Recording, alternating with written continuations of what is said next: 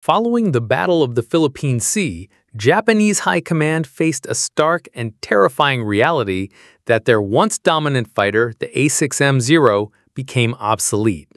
Its lightweight design and reliance on pilot skill were no match for the F-6F Hellcat's overwhelming combination of speed, firepower, and survivability. The only path forward was to find new solutions that could match the Hellcat's power output. Their primary technical response was the prioritization of Nakajima Homare engine. Its mass production became a critical industrial priority and a race against time to equip the next generation of fighters. This 18-cylinder radial engine was a technical marvel on paper, capable of producing over 2,000 horsepower. Its exceptionally compact design, with an external diameter of just 118 centimeters, was a feat of engineering. However, its tight design and the lack of precision tools in wartime Japan made Homare engine highly unreliable.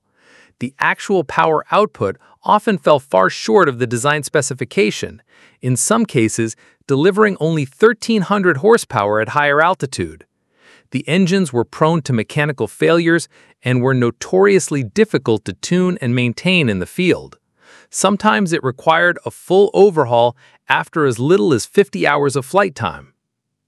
This failure of mechanical engineering became a critical weakness in the face of the Hellcat's overwhelming numbers and reliability.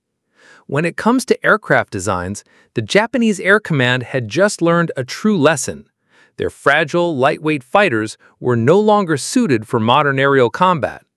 The newly arriving Hellcat proved to be an exceptionally rugged machine, capable of absorbing a significant amount of punishment while delivering a devastating blow. The once dominant Zero was easily torn apart by the Hellcat's formidable performance and firepower. The Japanese needed a fighter that could survive and hit back. The Kawanishi N1K1J Shiden was a direct and desperate result of this realization. Originally designed as a float plane, its land-based version became a rugged, heavily armed fighter. Unlike the fragile Zero, the Shiden had a heavier and more durable airframe, weighing approximately 3,500 pounds more than the Zero. It was also armed with a devastating suite of firepower, including four 20mm cannons and two 7.7mm machine guns. The Shiden's powerful armament and rugged design were a clear shift away from the fragile design philosophy and were intended to allow the aircraft to engage American fighters head-on and absorb more punishment. Japan also desperately needed a fighter that could not only match, but potentially outperform the Hellcat's speed and firepower to regain air superiority.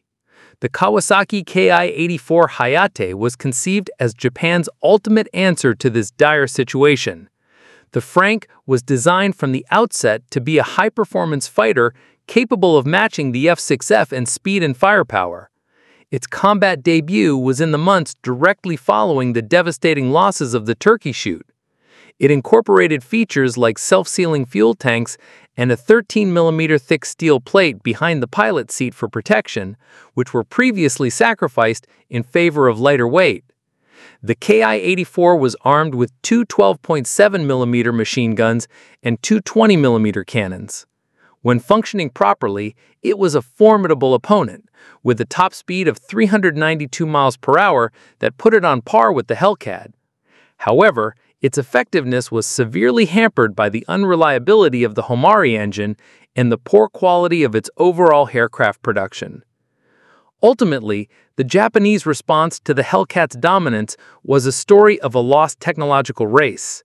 While engineers managed to design capable aircraft like the Shiden and Hayate, the broader industrial infrastructure was unable to reliably produce them the Homare engine became a constant source of failure in the field, negating the combat potential of the very fighters it was meant to power.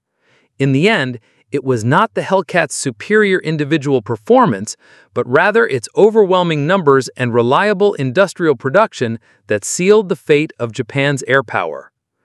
Thank you for watching, and see you in our next videos.